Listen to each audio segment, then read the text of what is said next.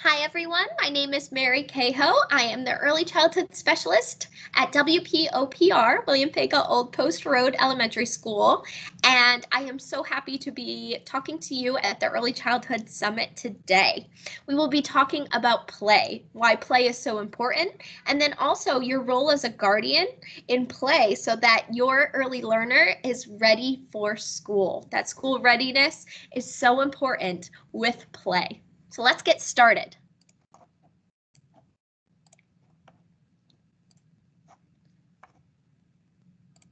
So my presentation for you today is called the value of play because play is something that is so valuable in your young child's life and especially in regards to school readiness and being ready for academic um, and social emotional success in school and beyond. So once again, I'm Mary Cahoe, and I'm so happy to be talking about this topic with you.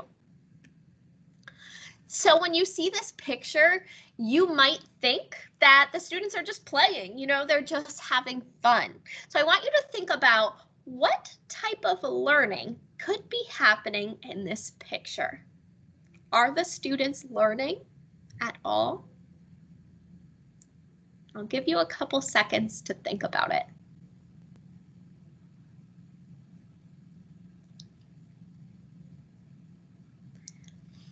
So in this picture, you might see students having this spontaneous fun. There's a lot of things around, but really what is happening is so much learning for these young children. So just a couple things that they are learning attention and focus. This little boy right here is learning to focus on a task that he is doing. He is putting two things on top of each other. He might not be able to sit and watch a screen forever, but he can manipulate those things and learn about using stamina to develop to finish a task after a while. They're learning about sharing and interacting with other students and other children and other adults around them. So you see this little girl right here, she is talking to the other little girl and they are learning about taking turns, passing things back and forth. They're also learning as they talk to each other and as they're sharing language. They're developing their vocabulary as they are talking about the things in front of them. Maybe they're saying the yellow school bus. It's time for school. We are going to learn all of those um, words, but they're also developing that language of the world around them. They're talking through everyday scenarios. They might be talking about the van on the road or about the airport. So they're building their language skills that help them for later reading, later writing, later storytelling, and that's crucial to their success. They're also learning hand-eye coordination and spatial awareness. They're learning about gravity and placing things on top of each other. Um, you know, they they're learning how to line up those items and how to manipulate with their hands to put those things together also learning math skills. You know, they're lining up objects and um, counting them and talking. This little boy might be counting how many tracks he needs to go around. So they're learning those math skills. They're also learning math skills of sorting. You see the yellow um, objects are all in one part and the orange tracks are all in one part. So they're learning how to classify or sort different items, which is a skill for life. And they're also learning self-esteem, that confidence piece. They're doing something all on their own that doesn't require an adult to help them, that doesn't require them to take in information and sit. Um, they're learning to be confident and to take charge of their own play and their own learning. So today's focus is all about that value of play. What is play? What does it mean to play as a child? And then why is it important in learning and school readiness? And then also as a guardian, what is my job in play? What role do I have when my child is playing? So you probably hear a lot about play. The buzz on play is all around. Um, you know, and there's different quotes I'll have you look at here that are all about play and your child's success. You know, play is sometimes talked about, and this was Mr. Rogers. He said, you know, it's a relief from learning. It's fun, but it really is the learning that happens. And you might be hearing the buzz on play, but then you also, you know, kind of get these messages of academics are so important. Um, learning the letters, learning the sounds, learning how to read is so important for our young learners, and learning about math and numbers. But really, what is so important is that a child plays because when they play, they are able to build those early reading skills, those alphabet skills, those math skills as they, you know, hopscotch and count out their numbers or count the steps on the playground. Those are all play scenarios that set a child up for success. So that buzz on play is that even though in our modern society we have more screen time, more technology, it is important and it is crucial for our young children to have all of those experiences to play and to learn about the world around them on their own terms. So you think about what is play? What does it mean when a child is playing? So it has to be an activity that a child can interact with. They are not sitting passively watching an activity, they are interacting and they are taking charge in it. It's also spontaneous and fun. You might have heard the word free play because a child has choice and they are in control of what they're doing. Something really important with play is that it only requires the imagination. It is not about which fancy toys you have, and it's actually better to have objects that can serve different purposes. It's not important to have, you know, a little play computer to practice computers. Um, you'll see in these pictures that a child has a box or a stick. And they can pretend that box is a computer or pretend it's a spaceship, and it's so many different things. So, in order to strengthen our brain, it's important to have toys that are all sorts of different things, and it does not require money or um, expensive fancy toys. And then also with play, that is how children learn about the world around them. They are interacting and they are learning about how scenarios work. So play is something that is an absolute must for our early learners to have school readiness. They need to have these experiences. So I do have a little video quick and it is about the background of play. And I'm sure that you have moments of play in your life that you think about when you are younger that are fond memories of when you had this unstructured time too. So here we go. It's just one minute. Take a second and remember when you were young. Most of us remember summers that seemed like they might never end. We're all able to search our memories for examples of play from our own childhood. When I was a child, we spent our summer evenings playing kickball and hide and seek. We spent hours playing Little House on the Prairie, pretending we were mountain men until the dinner bell rang and we all ran home. Those activities allowed us to have fun without worrying about completing a task. We were able to choose to participate, giving us control over our lives at that moment in time. We could change the rules of the game if we all agreed, and no one told us how to play. Children expand their knowledge of the world through play. Play is inseparable from childhood, and it may look unimportant or frivolous, like kids just having fun. But puppet shows, cheap rides with poo, and dress up all provide important learning opportunities. Free play helps children develop their social skills, language skills, cognitive skills, and develops their emotional well being. Something children enjoy can provide them with skills that will prepare them for their futures. So if you think about academic readiness, you might not think of play, but play is that important step, that free play experience for your child. And we're going to get into just the different aspects of development that happen through play. So play does not just provide, you know, the social skills that we hear about when students are interacting. Even independent play, children playing by themselves, is crucial for different development.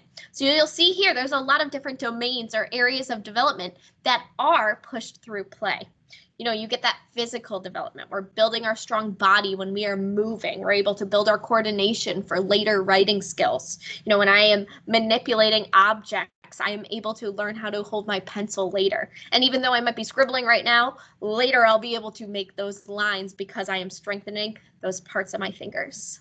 You know, they help us with our cognitive development of thinking about that sorting we were talking about, talking through or building our language or our literacy. Um, here they may be telling stories and then they're learning later that I can write those stories down.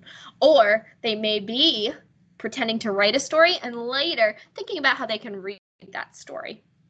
And then also that emotional development piece, the self esteem development comes through play and our feelings when things fall over and we feel better and we try again. Those crucial experiences are part of play. And then also what everyone typically thinks about that social skills development that happens through play, where we're taking turns and we're learning about different rules. We're learning about different social rules in the world. Um, even right now, you might notice um, when your child is playing, they might play something like grocery store and they say, you know, step back six feet, wear a mask, because these are the things that they hear and they're playing and acting out those social parts of the world. So now if you look at this picture, it kind of is in a different light of all of this development that is happening through this play, this free play that's happening. All of these domains, um, the physical, the cognitive, their brains, their social skills, and then their emotions. So we're just going to go through an example of each because as you are at home or as you're out, you might see your child interacting in these ways when they play. And this will be something that you will notice um, as you go through now. So thinking about the social emotional development, um, those ways that your child is learning about themselves and about others around them. So here you might see a picture of, it could be two siblings, two classmates. You'll notice that there, there is not another adult around. So they're learning about responding to each other's feelings. Someone might knock over the other's block tower and they have to learn, oh, you look sad. I didn't mean to knock it over for you. Let's fix it again. The adult is not telling them, look, you knocked over that block tower. So they're having that experience. And maybe if there is an adult, maybe they are helping guide um, that experience to happen, but they are not taking charge. Um, they're also learning about taking turns, um, going back and forth. And you might know as a guardian, if you have multiple children, they might need that structure at first of, oh, we learn about how to take turns and they might talk about it. But then they're learning through their play about, it's your turn, it's my turn to put a block on. They're also learning that understanding emotions piece of when I knock over my block tower, I'm a little sad, but I remember I can build it back up. So they're learning about their own emotions, but then also how to self regulate, how to choose things that make them feel better. And they're learning about that resilience so that, you know, our black tower doesn't fall and we cry for the rest of the day. Or I'm an adult and I get a parking ticket and now my whole entire day is ruined. So that crucial play step helps them learn for later in life. So that's our social emotional development that you might see when your child is playing. We also have that language development piece. So you'll see in this picture, these two little cutie pies are playing grocery store. You know, she's got the bag with her. We've got a cashier. They've got an apron. Um, and they might be talking through an everyday activity that they've already seen, but now they're creating that scenario in their mind. They might be saying, you know, know, cash or card, and they're using that vocabulary of what happens in the world. Um, now with you know the pandemic, they might be saying, you know, step back six feet, or are you wearing your mask? Um, and they're having those conversations and learning about language. They're using those words. And then, like I said before, they might be telling the stories now, but then later in life, they're learning about reading and writing those stories down. And then also singing a nursery rhyme play is a huge part of play and development. So maybe your child in this situation is singing, you know, to market, to market, to buy a fat pig. And they are learning their language development, but they're also acting out what's happening. Um, and a lot of children learn through that singing and play. Physical development um, has two different kind of categories that you will notice your child doing when they are playing and they're building their physical development through this way. So we've got our gross motor skills and then we've got our fine motor skills. Our gross motor skills are our whole body, our big movements that we are developing, developing our strong muscles and body and strength. Um, when your child is running or when they're jumping and climbing, that is crucial play to build up their body and muscles and to learn how to move their body that they have.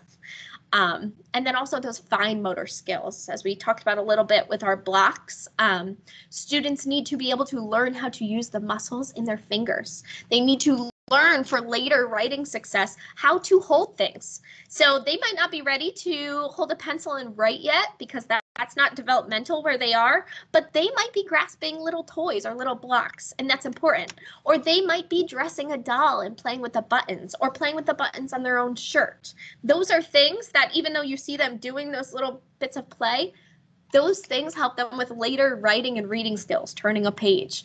And it may not look directly connected, but it is, and it's huge and crucial for your child to be ready for school success.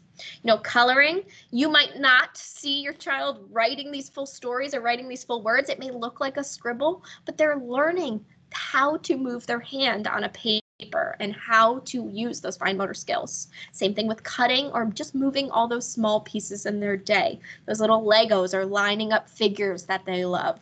So when you see your child doing these activities, they are promoting their fine motor and their gross motor skills. So during this year, um, I teach some classes to our kindergarten and pre-K students. And one thing I had them do, I gave them a bag of pom-poms and at home, I would have them line things up and, you know, point to each one because they were building their finger skills before they learned how to write. So those things are so crucial and you'll see your child doing these things and you'll go, ah, look, I noticed that they're moving those hand muscles. But then also that cognitive and that brain development. Here you'll see that these two children are playing with a water bowl, and in that they might be learning about learning. They are learning to classify or sort objects. They might sort their green objects to one side or their big objects to another side. They're also learning about problem solving and they're learning about gravity, the world around them, cause and effect. You know, you're learning if I pour one cup like she's doing into the other cup, I don't have any water anymore. Where does it go? It doesn't stay there. So they're learning about how to interact and how to learn the world around them. They're making discoveries all on their own. And like I said again, this doesn't require those fancy toys. So if you look back at all of these developments, these are not things that require those fancy toys. Even though this is a grocery store setup, this could be the extra food boxes that you have at home, or students could just be using um, just cardboard boxes and pretending them, or blocks and pretending that they are food and different um, groceries. So as you'll see in these um, scenarios, these are things that happen in everyday life you know having a water bowl and playing with spoons and forks and you know little cups from home are things that are crucial for your child to have those play experiences and to get ready for school success. So you may be wondering what your role as a guardian is in play. And you might be saying, you know, Mary Cahoe, I cannot sit and play with my child all day. Um, I I need them to be able to play on their own. And that is very important to note. There are times that you, you know, play along with your child and you engage in their play. And it's also important for your child to learn how to play independently and with others. And that independent play is very important. It is important for your child to have that time for them to work out skills and scenarios. So it's also not something that you have to build up into your day. You know, we are going to play dragons at two o'clock.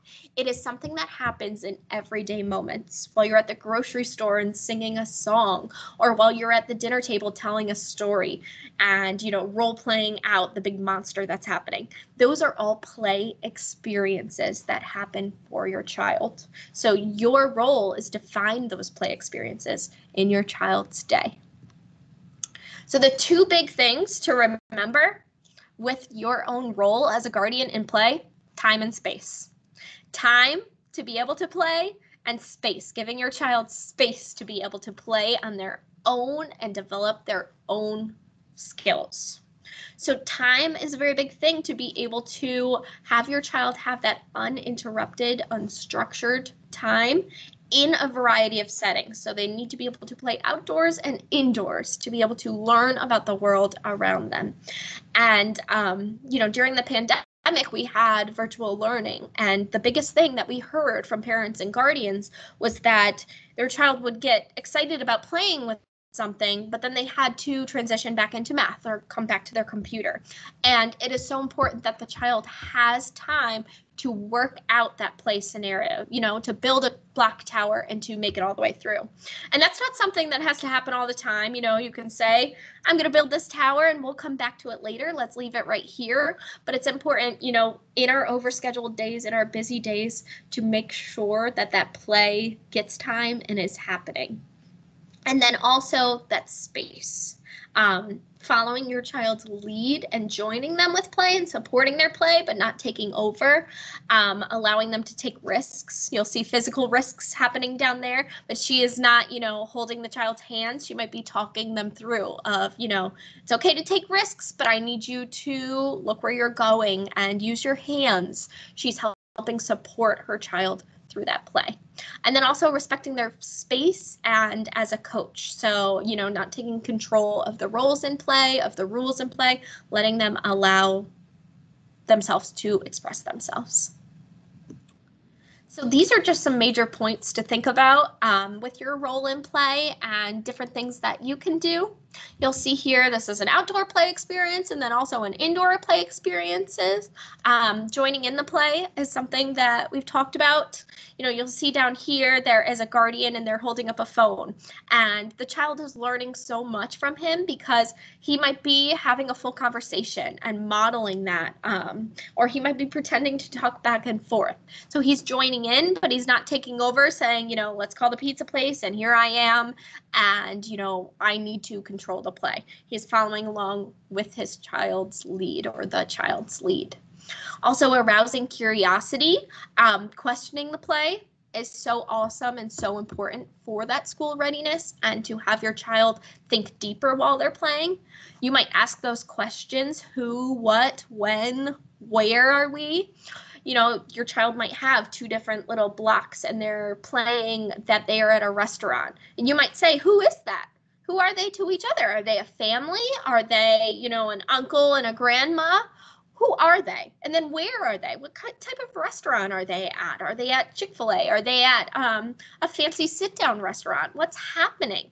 Are they out for a birthday? So you might be asking those. And even though you're not giving the answers, you are allowing your child to develop their own world and their own story. And you're pushing them further than just we're at a grocery store or we're at a restaurant. You are allowing support to that play. And so that leads us into support of um, not only that language support, because you're providing those vocabulary words and pushing that further and understanding the world around them, but then also, as you saw, um, that gross motor, that physical support of allowing your child to take those physical risks, but then also being there for that support of, you know, when I climb something, I keep my eyes forward and I get down hunched and um, I can learn how to be safe when I'm doing that. And but not stopping your child or doing it for them. You know, there's a quote out there that says, when you do it for me, I learn that I am not good enough, that it's not me. But when you allow me to do it, I learn. So that is a big piece of, you know, even your child struggling through cutting, you might say, oh, look, hold it and open it in and out, in and out. Those fine motor skills but you're not taking it and saying, oh, let me cut it for you because you seem like you're struggling. Um, presenting new challenges, kind of like we said before, making sure that there's that outdoor, that indoor, that variety of settings that are happening. Um, even when you're playing, you know, how about you make your block tower taller? Let's see how tall we can make it. Can you make it 20 blocks? Um, how tall can you make it? Can you count those? Asking those questions, um, not taking over, but allowing the child to kind of present a new challenge to themselves. They might come back at you and say, I can make it 40 blocks. Um, and they get excited about that. Um, and then also in our overscheduled, over technology world, making sure that you have time to be spontaneous and fun. Um, not saying, oh my gosh, now I have to fit in another thing in my day of play, making sure that um, you have that time to explore, but then also to enjoy, to enjoy your child's play, to enjoy watching them, enjoy joining in, um, but also have time for you as an adult while your child is playing and knowing that they are learning and they are learning those skills for crucial school readiness success. So, you as a guardian are setting your child up for success when you are providing them the time and space to play We will see that as educators, us in our partnership. It is absolutely important and it is awesome for your child to grow all of those areas of development. So I want to leave this quote to you um, as we end our time with talking about play. As you can see, play is something that is absolutely crucial to your child's experience. And here at Harford County Public Schools, we are committed to being your partners in play and in school readiness to have those experiences um, so that we are ready to take on not only school college and career readiness, but the world beyond after school and into a successful humanhood, adulthood. So I'm going to read this quote to you to leave us off about our young learners and what it means for them to play. So it says, I was not built to sit still, to keep my hands to myself, take turns, stand in line, or keep quiet all of the time. I need motion, novelty, adventure, and to engage the world with my whole body. Let me play. I'm learning all the time. So you as a guardian, just by being here, are absolutely the greatest partner in promoting play in your child's life and creating their whole body um, experiences to for success and for academics, their social emotional, and then also their physical well-being. So once again, I am Mary Cahill. I'm an early childhood specialist. I work with um, our primary kids, our young kids as they come into school, and I see how much play affects our students as they come in and they're successful because they've had the social opportunities, the mental opportunities, the physical opportunities, and they feel that success that leads them through their schooling and the positive experiences. So I'm going to show you some other resources. We're so happy you're here today and we wanted to provide some follow-up for you on our Harford County um, webpage, there is a whole early childhood section. And in this section, there is family and community support, there's mental and physical health support, and then also educational resources. So if you want to hear more, you can look on this page um, to learn all about school readiness and different resources we have because we are partners in providing those successful early experiences for your child. Um, we are so happy to have you at the Early Childhood Summit today. You will notice that there are a ton of different sessions, and I will give you a hint. All of these sessions have to do with play. There is play in reading, there's play in writing, there's play in having that visual schedule in your day. So, play is something that is crucial and will be a theme throughout all of these do have an evaluation to hear more about your needs as we are partners at Harford County in the early childhood area.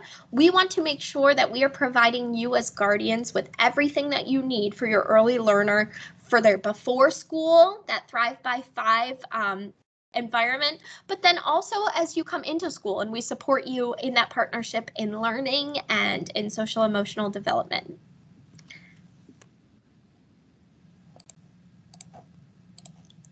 So once again, I am Mary Cahoe. I'm the early childhood specialist here at William Paca Old Post Road, and it has been an absolute pleasure learning alongside of you about play um, and talking about these experiences of you as a guardian and you as a partner with us.